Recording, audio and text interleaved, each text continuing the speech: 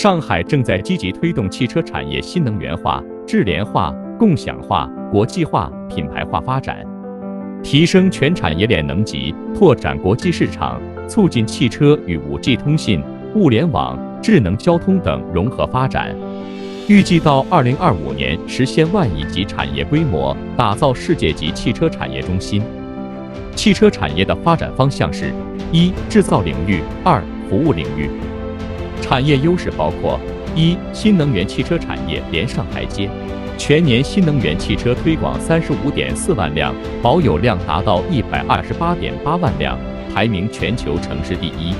上海电动载人汽车二零二三年度出口值首超千亿元大关，增长百分之四十三点九，完成一千一百辆国家燃料电池汽车示范应用任务。二零二三年度新增五点一万个电动汽车公共充电桩，建立公交纯电动力电池健康状态评估和安全预警技术体系。